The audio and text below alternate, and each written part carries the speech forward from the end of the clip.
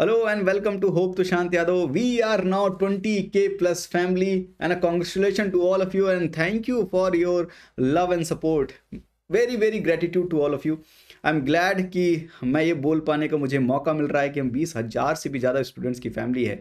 And credit goes to you guys that you have love me you know from a long time support करते रहे, आप लोग share करते रहे videos को लाइक करते रहे कॉमेंट करते रहे।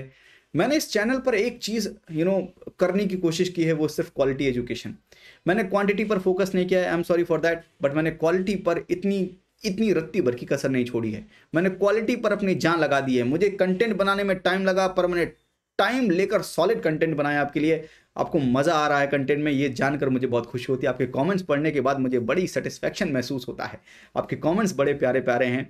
और आज तक मुझे यू नो सौभाग्य है मेरा कि मुझे नेगेटिव कमेंट्स ज़्यादा पढ़ने नहीं मिले और मैं बहुत खुश हूँ। और इस सक्सेस के पीछे की स्टोरी क्या है? ये बीस हज़ार का जो success you know YouTube family हम बना चुके हैं, इसके पीछे की स्टोरी क्या है? आपके लिए हो सकता है ये नंबर छोटा हो, पर मेरे लिए बहुत बड़ा नंबर है और ये धीरे धीरे ऐसे ही कंसिस्टेंटली ग्रो होता रहेगा। थोड़ा स्लो ग्रो हो रहा है यूट्यूब चैनल पर ग्रो हो रहा है and growth is you know everything slow हो कंसिस्टेंट हो कंसिस्टेंसी इज़ द की पर ग्रो होना चाहिए।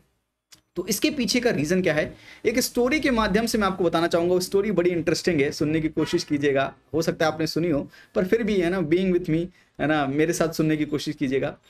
एक गाँव में वाटर की बड़ी प्रॉब्लम थी, पानी की बड़ी समस्या होने कारण लोगों ने सोचा कि वेल का कंस्ट्रक्शन किया जाए, कुआँ का कंस्ट्रक्शन किया जाए, कुआँ खोदा जाए और देखा जाए कि पानी निकाल लें और वाटर की समस्या को दूर किया जाए।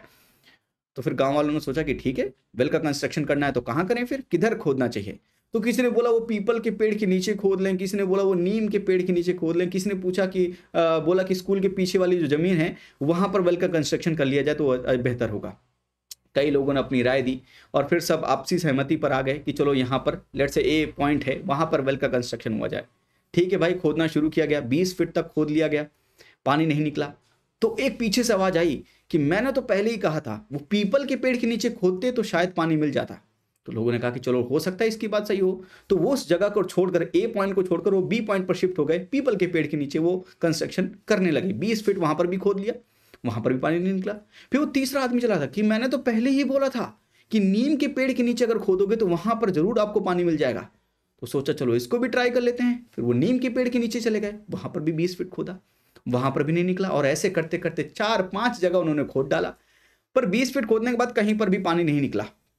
फिर गाँव के एक बड़े बुज़ुर्ग आए और उन्होंने सिर्फ़ एक बात कही अपने तजुर्बे से कि अगर आपने इतने लोगों की बात नहीं सुनी होती और एक ही जगह पर जितनी मेहनत आपने पाँच जगह पर की है, अगर एक ही जगह पर उतनी मेहनत कर दी होती तो आप हंड्रेड फीट नीचे आप खोद पाते और आपको पानी भी मिलता और पानी पीने का मज़ा भी आता। सेटिस्फैक्शन भी मिलता और पानी की जो तृप्ति होती, उसका अलग ही मज़ा था। इस स्टोरी का मेन कोर पॉइंट क्या था, जिसे मैं कहता हूँ कीवर्ड्स सेंट्रल पॉइंट क्या था? सेंट्रल पॉइंट था फोकस। आप डिस्ट्रैक्ट ना हो अपने गोल से।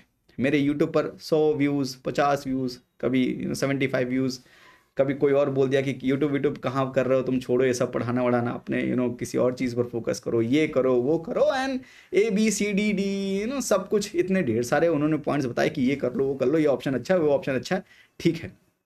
पर मुझे सिर्फ़ एक चीज़ पता थी वो है कि मैं जो कर रहा हूँ उसमें मुझे सेटिस्फेक्शन मिल रहा है और मुझे इसके रिज़ल्ट के बारे में ज़्यादा नहीं सोचना है कि क्या होगा अंत में। मुझे काम में मज़ा आ रहा है, मुझे पढ़ाने में मज़ा आ रहा है, मुझे इसमें पैशन फील होता है ना, ये मेरा पैशन है।